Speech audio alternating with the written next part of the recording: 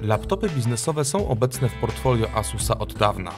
Jednak dopiero teraz tajwański producent zdecydował się stworzyć nową markę, w ramach której oferowane będą komputery dla firm. Jednym z pierwszych modeli, które zadebiutują na rynku w ramach rodziny Asus Pro jest B33E. Już na pierwszy rzut oka widać, że nie jest to maszyna kierowana na rynek konsumencki. Wszechobecna czerń, matowe wykończenie i kanciasty pozbawiony ozdobników design sprawiają, że niewielki 13-calowy Asus Pro B33e jawi się jako elegancki, praktyczny i solidny notebook stworzony do pracy. Pierwszy kontakt z maszyną niestety zaburza ten obraz. Klapa okazuje się delikatna i podatna na odkształcenia. Pokrywa wyraźnie ugina się przy niewielkim nacisku, a otwieranie laptopa za róg skutkuje jej lekkim wygięciem. Niewielkie, choć solidne zawiasy pozwalają na odchylenie ekranu o 150 stopni. Stawiany przez nie opór można określić jako średni. Wystarczy on do utrzymania wyświetlacza w żądanej pozycji, ale nie zapobiega uchyleniu pokrywy po obróceniu laptopa. Wszystkie jej elementy są dobrze spasowane, a stelaż ze stopów aluminium i magnezu sprawia, że jest wzorowo sztywna. Całość wykonana z dobrych jakościowo tworzyw, do nalżejszych jednak nie należy. Wraz z akumulatorem Asus Pro waży ponad 2 kg, a więc jest jedną z najcięższych trzynastek dostępnych na rynku. Klasyczna klawiatura z pozbawionymi profilowania płytkami pracuje dość cicho, ale podczas pisania lekko się ugina. Na plus należy zaliczyć korzystny dla użytkownika rozkład przycisków oraz odporność klawiatury na zalanie niewielką ilością płynów. Wkomponowany w podpórkę pod nadgarstki wielodotykowy gładzik Elan o wymiarach 80 na 39 mm dobrze spełnia swoje zadanie. Jest zadowalająco czuły i precyzyjny i ma wygodne w użyciu przyciski funkcyjne, które pracują niemal bezgłośnie. Asus Pro B33e jest dobrze wyposażony. Oprócz standardów w postaci czytnika kart pamięci, gigabitowej karty LAN, modułu Wi-Fi i Bluetooth 3.0, na pokładzie znalazł się napęd optyczny, co jest rzadkością wśród komputerów z ekranem o przykątnej 13 cali. Nie zabrakło też czytnika biometrycznego i platformy TPM w wersji 1.2 oraz obsługi technologii Intel Anti-Theft. Zintegrowana w ramce ekranu 2-megapikselowa kamera ma dobry jakościowo przetwornik i wraz z czułym mikrofonem z funkcją tłumienia zakłóceń i echa akustycznego świetnie sprawdza się podczas wideokonferencji. Niestety opóźnienia w przechwytywanym obrazie są znaczne. Wbudowane głośniki Altec Lansing mają pasmo przenoszenia ograniczone do tonów średnich. Mimo to grają całkiem nieźle jak na laptop biznesowy. Przydałaby się tylko nieco większa moc systemu audio oraz lepsza lokalizacja membran, gdyż dźwięk wydobywający się spod spodu laptopa jest nieco przytłumiony. Lista interfejsów, w jakie wyposażono Asusa B33e jest dość długa.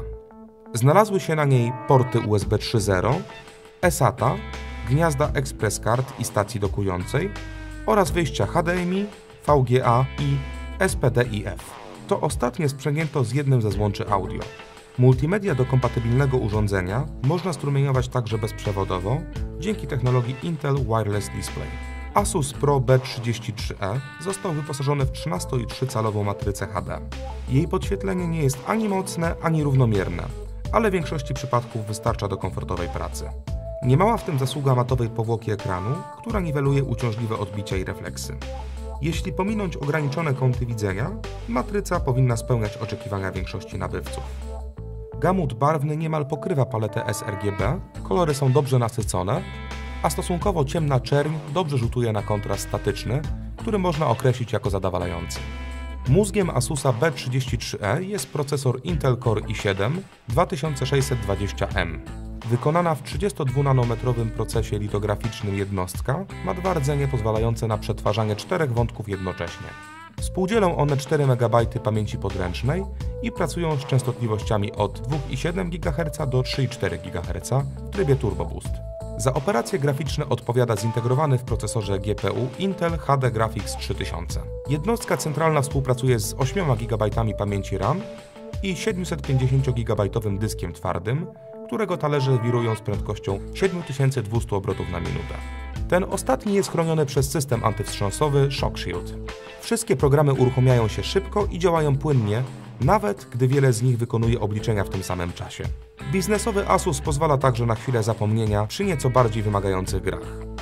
Przykładowo, Colin McRae Dirt 2 czy Need for Speed Shift działają w natywnej rozdzielczości na ustawieniach odpowiednio wysokich i średnich. Podczas wykonywania mało wymagających zadań słychać szum generowany przez szybki dysk twardy. Wraz ze wzrostem obciążenia jest on zagłuszany przez wentylator. W rezultacie maluch staje się umiarkowanie głośny, jednak nie przewyższa poziomu emitowanego hałasu typowych 15-calowych konstrukcji. Pod względem temperatury biznesowiec Asusa wypada wyśmienicie. Ciepłota obudowy nie przekracza temperatury ludzkiego ciała, nawet podczas długotrwałego obciążenia. Temperatury podzespołów również bez problemu mieszczą się w dopuszczalnych normach. Nie ma mowy o jakimkolwiek przegrzewaniu się czy dławieniu procesora lub karty graficznej. Biorąc pod uwagę wydajność platformy, przebiegi Asusa B33E na akumulatorze można uznać za dobre. Laptop pozwala średnio na około 5 godzin pracy. Oszczędzając energię można zyskać nawet około 2 godziny. Ekstremalne obciążenie wymaga jednak ładowania już po upływie niespełna 1,5 godziny. Warto wiedzieć, że w maluchu z linii Asus Pro zastosowano baterię Boston Power Sonata Long Life, która nie tylko ładuje się do ponad 90% w 1,5 godziny, lecz także ma ponadprzeciętną żywotność szacowaną na 900 cykli i jest objęta, podobnie jak laptop, 3-letnią gwarancją. Podsumowując, można powiedzieć, że Asus Pro B33e to laptop, który będzie dobrze promował nową markę. Jest on dobrze wykonany, bogato wyposażony i wydajny, a do tego nie ma problemów z temperaturami i stosunkowo długo działa na akumulatorze. Co prawda solidność pokrywy budzi wątpliwości, a podświetlenie matrycy jest nieco za słabe do komfortowej pracy w pełnym słońcu, ale są to jedne z nielicznych wad konstrukcji, które giną wśród pokaźnej liczby zalet.